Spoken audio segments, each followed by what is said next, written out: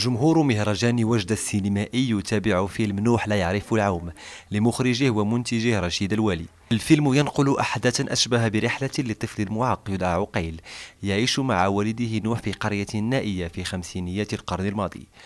وتتوالى الأحداث فيهربان من القرية بحثا عن آفاق أكثر رحابة.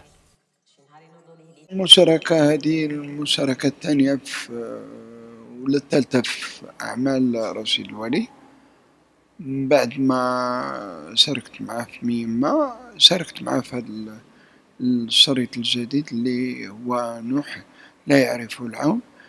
دوري هو دور واحد البراح اللي كيبرح في هذيك القبيلة. كي نقول أخبار ديال المخزن للمواطنين المواطنين ديال القبيلة.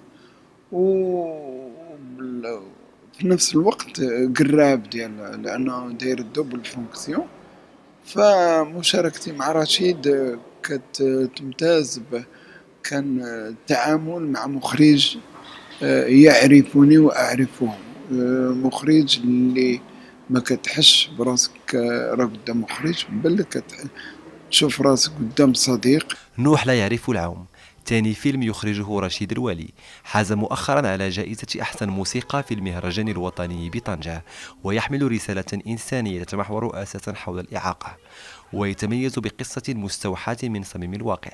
تعكس أبعادا إنسانية واجتماعية تمت معالجتها في قالب فني.